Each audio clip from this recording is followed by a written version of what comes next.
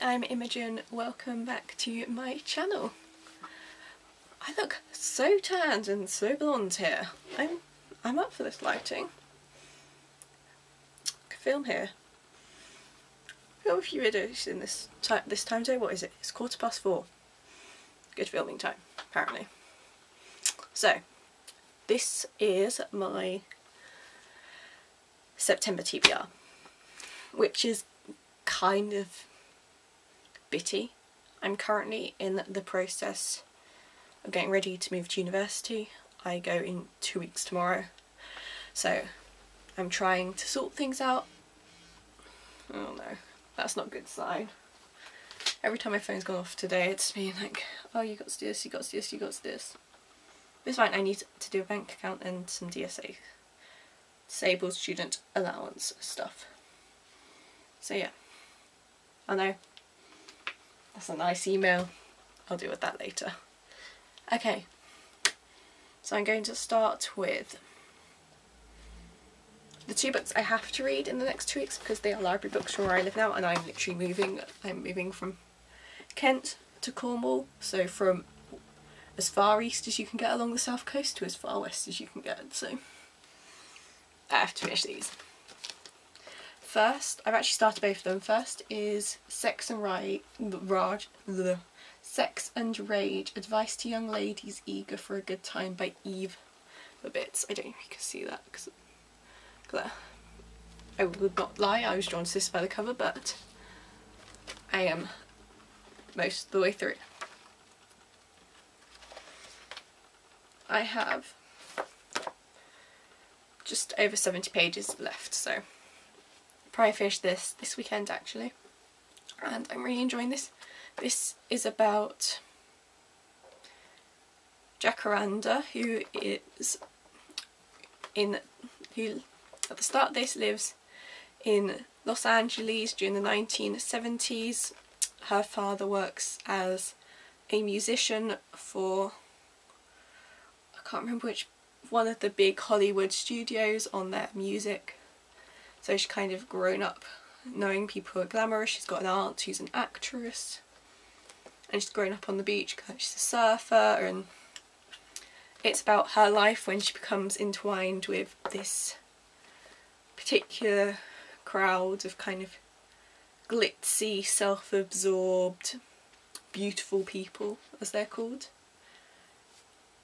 And her story, she, she kind of, she does a lot of things. She's painted surfboards to make a living before she's Xeroxed, which I've got no idea what that is, but it's a thing in here.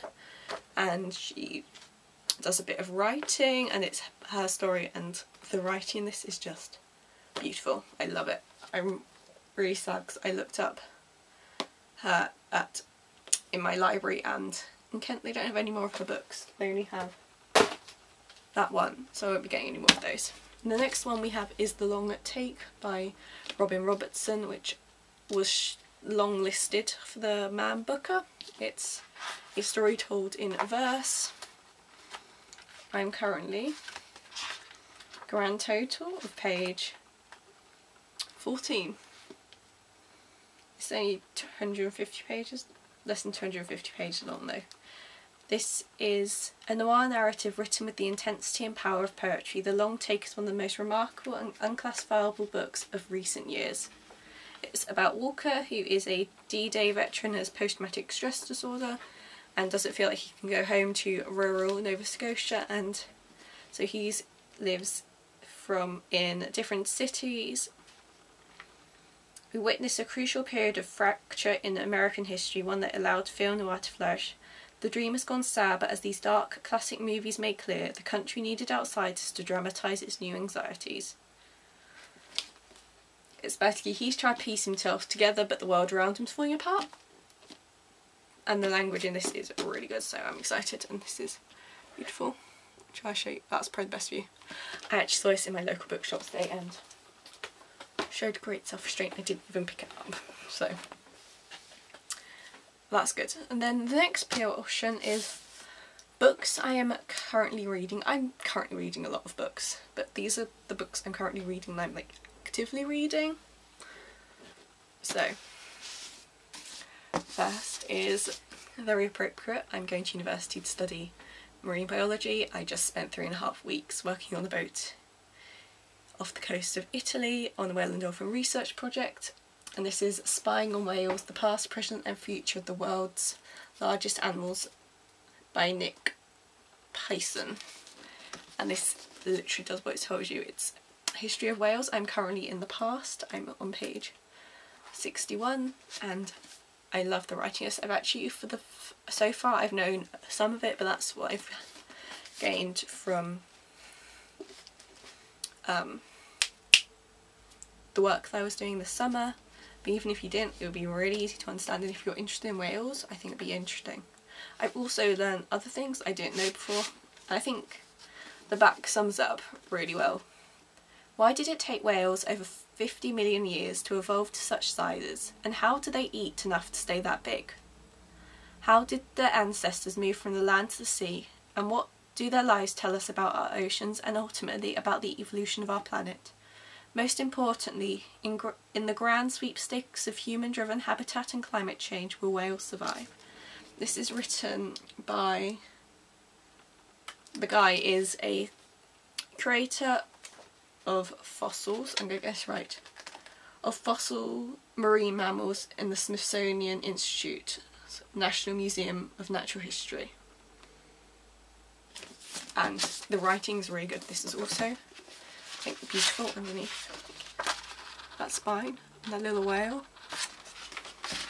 Honestly, I was craving colours, go back to the right thing.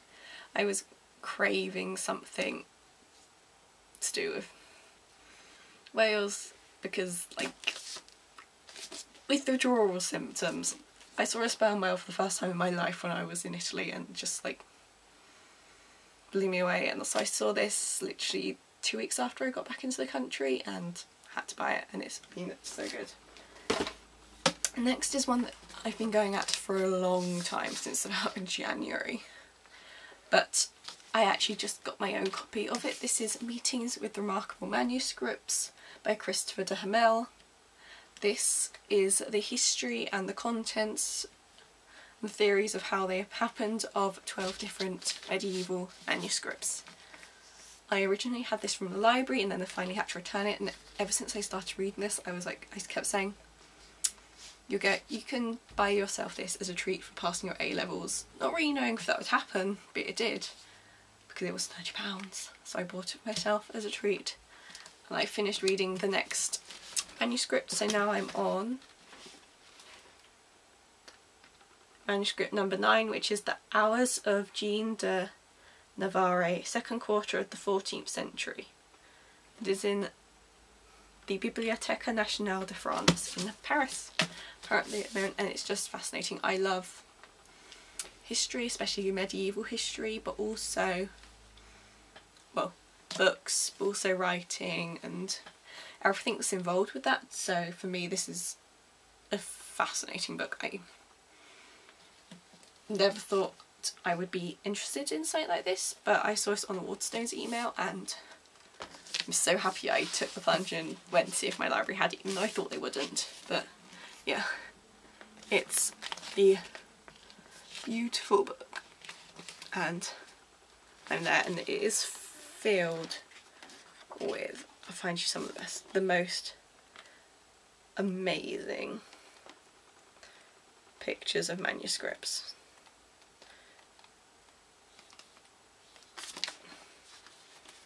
Okay, here's some. It probably won't do, won't do it justice, but like, because I got really excited because they had a paperback version of this, it was like probably like that big and the pictures are in black and white so I went and I treated myself to the massive expensive version and I can honestly say I do not regret it one bit. Okay, and the next is a complete departure from the last two. We have A Game of Thrones by George R. R. Martin.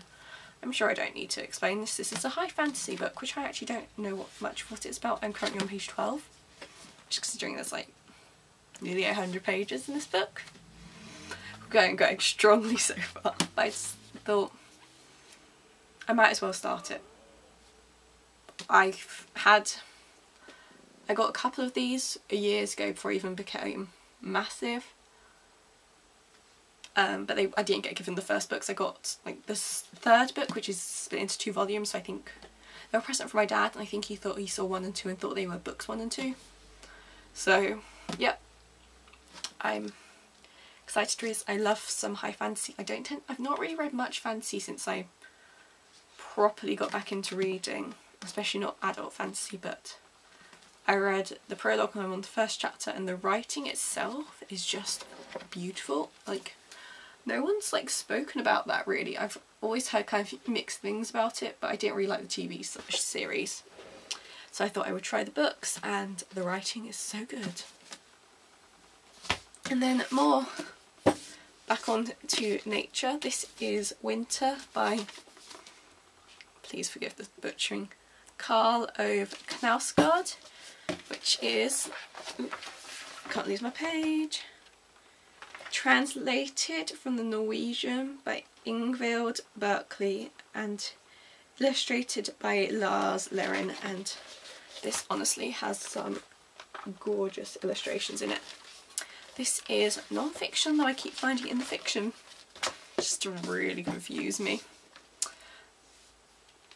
Um, I like this at the back. Winter is the second of the season's quartet, a personal encyclopedia about the world written by a father to his unborn child. And basically each, it's divided into a month. I'm currently reading January and each chapter each of those is then divided into a little section which is basically a musing on a topic. So for the next one is the funeral procession, then we have crows, setting limits, the crypt, sexual desire, Thomas, trains, George, toothbrushes, the eye, atoms, Lockie, sugar, but a lot of them are very philosophical and a lot of them are about nature. And this the, again the writing in this is just absolutely beautiful. I read Autumn I picked up pretty much on a whim and oh my goodness I want to read everything he's written. I'm trying to take it slowly and not rush through it but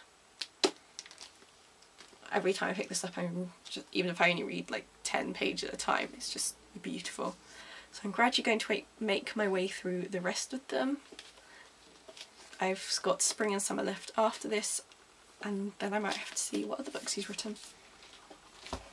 I think I'm going to ask for the next one of those for my birthday because it's in October and like I'm going to be a student, I'm not going to be able to afford to buy new books but those are books I would love to own my own copies of because I know that in years to come I will continue to read them and love them. Okay, so the next book is I may have gone on a little spree, which is the opposite of what I've been saying about the fact I'm going to university, so I'm not getting any money, and I'm trying to be careful with the money that I have had saved up. It's not a lot, not a lot, not a lot, but if I'm careful, it should be okay. I may have bought three books. They're all from the trad shop and they were £2 each and they're all books I've thought about buying. First is All the Light We Cannot See by Anthony Doerr, which I'm sure you've seen this and heard about this. So I finally bit the bullet. I've been wanting to read this for ages and I keep like I've, the number of times I've picked this up and put it down again. This is about two different people. Got Marie-Laure, who is blind and lives in Paris.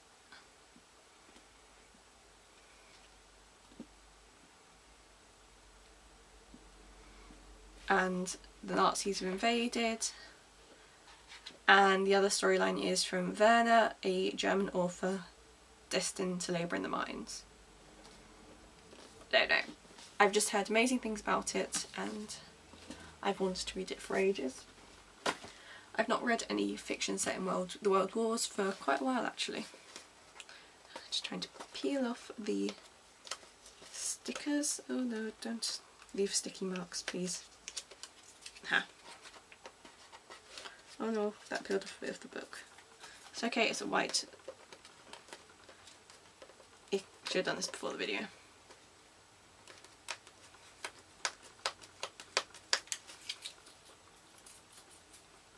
Okay, next is The Tobacconist by Robert Seethaler, which was translated by Charlotte Collins. I'm Just checking that wasn't translated.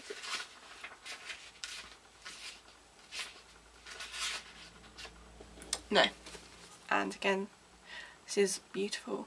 I have such a thing for covers. I thought about buying this again. I'm just going to read you the summary because I'm not sure how to sum it up. 17-year-old Franz leaves his home and idyllic beauty of the Austrian Lake District for the, hustle, for the bustle of Vienna. He is apprenticed to an elderly tobacco, tobaccist. Among those regular is a Professor Freud, whose predilection for cigars and occasional willingness to dispense romantic advice will forge a bond between him and young Franz. It is 1937. In a matter of months, Germany will annex Austri Austria and the storm that has been threatening to engulf the little tobacconist would send, leaving the lives of Franz and everyone he knows irredeemably changed. So I've got two books set in the same time period, but sound completely different. Then the last one is, I think this might actually be a children. This might, I think this is meant to be a teens book, but Sky Song by Abi Elphinstone. This is about the snowy kingdom of Erkenwald, where whales glide under, between icebergs, wolves hunt in the tundra and polar bears roam the glaciers.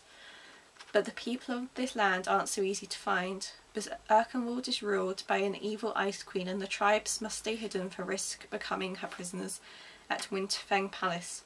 Join Eska, a girl who breaks free from a cursed music box, and Flint Boy, whose inventions could change the fate of Erkenwald forever. As they journey to the Nether Cliffs and beyond in search of all ancient, almost forgotten song, with the power to force the ice cream back. This is a story about an eagle huntress, an inventor, and an organ made of icicles. But it is also a story about belonging even at the edges of our world. That just sounds fabulous and again, beautiful and we've got coloured edges. So yeah, and this is again quite short, like the tobacconist. They're short little books, so that's what I'm going to read when I've read those. I've also got a short segment I'm calling Get Yourself in Gear Imogen. You have lots of magazines and you need to read them because you love them. Okay, I'm back. Though you might not have noticed there was a brief interruption. I had to go and do something with my mum. Okay, what we are doing. We are talking about magazines. I can't remember where we got to. So we'll just start at the beginning. Okay, first one is Tank, which I bought myself that I've never had before. And it seems to be about a lot of other lots of things, including about books. I don't know if you can see, but some of those pages are yellow. Like, like all of these are yellow. Which means they're like about books. And then there's little bits of other things. So I got this as a trial and I'm partway through. I'm on page 83 so far. And I'm enjoying it. I'm going to see how I feel about the rest of this. I have a bad habit of buying magazines and not finishing them or starting them.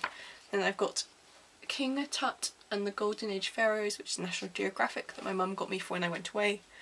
I never got around to reading it because the whole thing was so mad while I was there. I literally had barely any time off. This will be really interesting and I really like the Egyptians. And then we have a copy of ID, which is a magazine I have a subscription to because my dad lets me have magazine subscription which he pays for and this is my one and I really love this.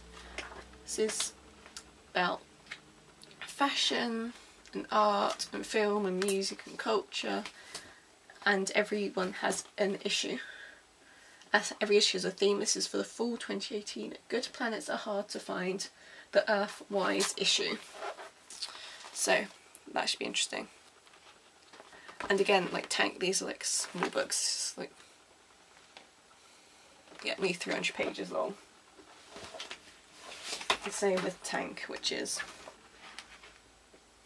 again almost exactly like in the 280s. And then we have New Philosopher Play Matters. This one that I took away with me to Italy and I have read some of it. I'm on page 38. I've had an issue with this before and I'd liked it but I hadn't loved it and I thought this one sounded really interesting. But I don't think I'm going to get another issue of this. For curious people looking for solutions to the fundamental issues faced by humankind. And it's just different people writing on a topic.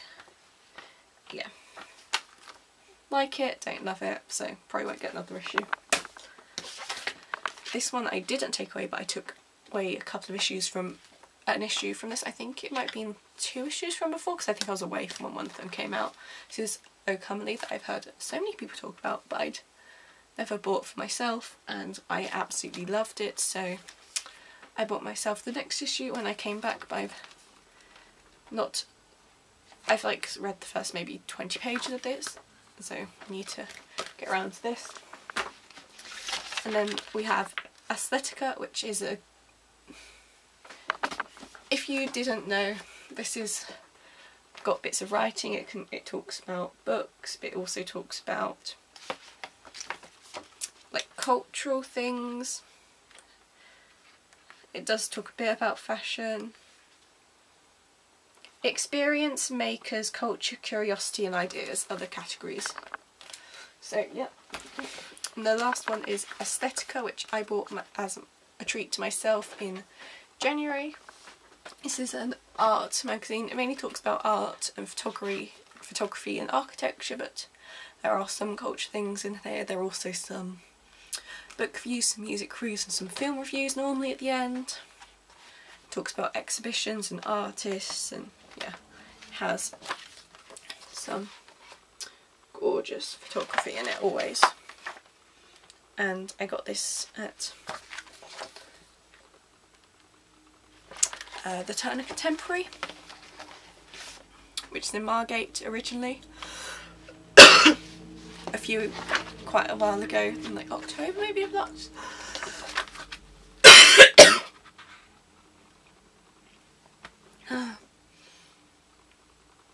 in October maybe of last year. So I got myself a subscription because it's hard to find and I really enjoy it. It often talks about sustainability as well, so I love this. This was here for when I this got arrived when I was away initially, so I've had it for a few weeks. I've just not got around to it yet, but I will because I love reading these. So that is it. A lot of reading, not much time. Isn't that always the case? So, yeah. Here we go. Let's let's have a look at it.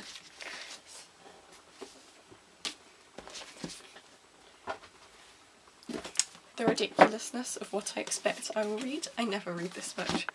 I don't even like TBRs that much, but I thought I might this one. Because it was a bit different. So, here we go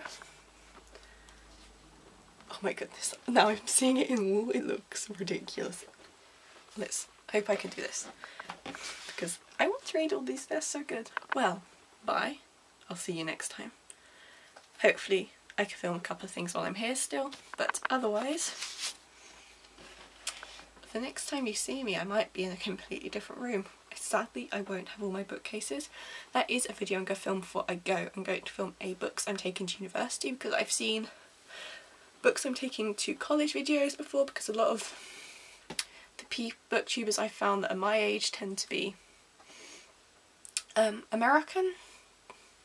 So I'm going to do books I'm going to take to university. Thank you for watching if you've got this far because it's going to be really long because I'm yet to film a video this short.